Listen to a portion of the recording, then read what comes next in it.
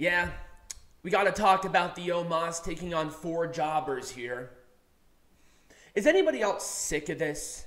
I mean, am I the only one who's sitting there and saying to myself, God damn, can he face not jobbers?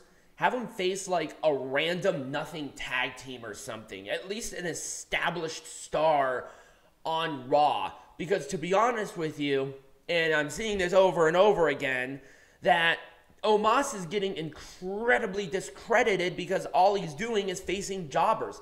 How is this supposed to get anybody invested into him versus Braun Strowman? How? You had the rival, you had the cookie cutter rivalry here with Omos and AJ Styles, where Omos was beating Raw superstars, not a bunch of jobbers. He's faced them before. He was a champion at one point in time. This is lazy. This is absolutely lazy booking. And this is kind of where I think that a lot of people were discrediting Triple H as a booker because of how they're doing with Omos. But what else can you do with Omos at this point? I think he should be facing Strowman more.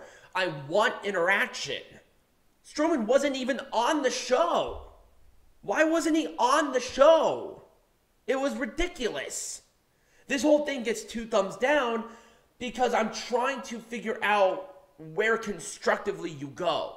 And how you make this majestic again here, Trips, if you want me to be honest with you, is that you give us a brawl between Omos and Braun. I want to see them just beating the crap out of each other, people trying to pull them apart, but they can't because of the immensity of these two. I want to see Titans clash, not a Titan taking on four minnows. It's getting old.